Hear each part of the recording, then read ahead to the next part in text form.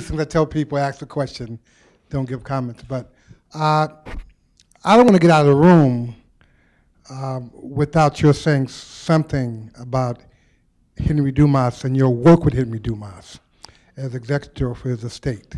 And that's essentially my question.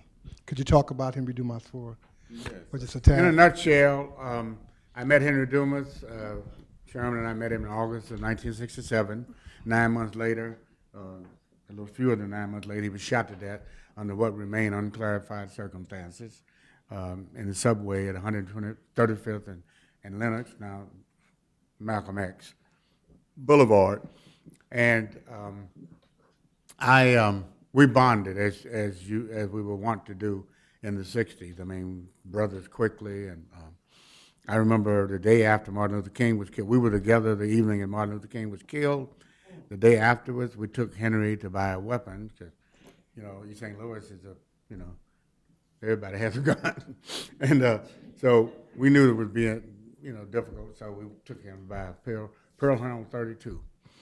Um, he, um, um, some days later, he went to New York to become, to talk to publishers about a possible book contract and to attend the wedding of a friend, and we never saw him again until I looked over in the casket at him um, uh, later in, in May, early, early uh, June. He was killed on May 23rd.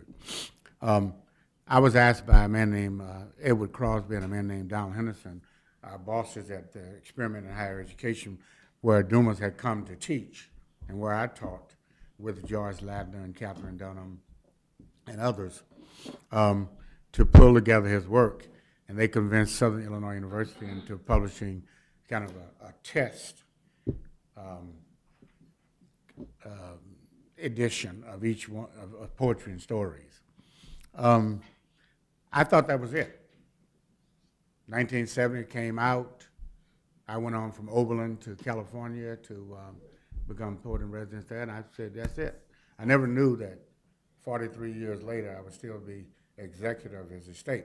By the way, his wife, his widow, and I just legalized it for my estate, you know, and her estate because we just had a we just had a lady gentleman agreement. Um, so we just legalized it, which means that the executors, my nephew and my youngest daughter will, uh, will be continuing as the executor of the Dumas estate. Let me say too, that one day it will make a million dollars or more. I know from what Toni and I have talked about, Toni Morrison was the chief uh, advocate of his work. She was the senior editor at Random House, and I always referred to her as the in-house editor and myself as the outhouse editor. By the way, I have a, I have a decade of correspondence with Toni Morrison that I- you can imagine is quite valuable to any, any collection. Um, so, so over the years, uh, uh, Toni went to Quincy's house and saw the books from SIUE, and she said, "Where can I, where can I get in touch with this guy?" And Quincy said, well, "My friend is the editor, and I was in California, so we he put us together." And then she said, "Anything else?" I said, "Yes, but it's just fragments. There's nothing else that you want to publish." But she has the eye, see. So she said, "Well, send it to me." I said, "She said this is brilliant." I said, "Oh, it is." and uh, she uh, and so out of that came four more books, reprints of the one, and then other books. Um, and uh, we we worked with four publishers now: Southern Illinois University, Carbondale, um, Random House, Thunder's Mouth Press, which went with Avalon, and now Coffee House Press. And I just thought it would be over after that first time. Uh, we wanted to feed his wife and two sons. His sons committed suicide. They wrestled with it. They never could come to grips with why he was killed, um, shot to death by a policeman. Um, and at the time, a white policeman. Uh, Mrs. Dumas and I decided not to play up that part after a while because a lot of people just grabbed that. So many people getting killed, and we didn't want that to um, to um, obliterate anything or to confuse what we were trying to do. So we just stopped even putting it in the bag. We first to say, shot death by a white policeman. I mean, that was common to say that. So we stopped, we decided, no, no, we didn't want that, that, that jacket on him, you know, and on his art. Um, so we're, we're now, there's some, there's still some stuff.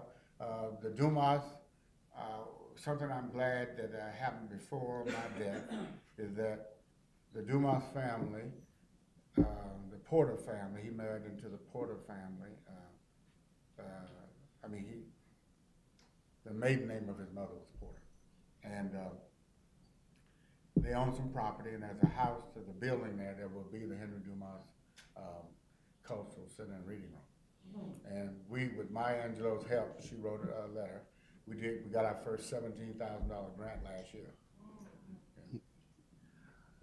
Well, thank you very much And his on books, that. uh, the latest, the book in print is, is Echo Tree from Coffee House Press.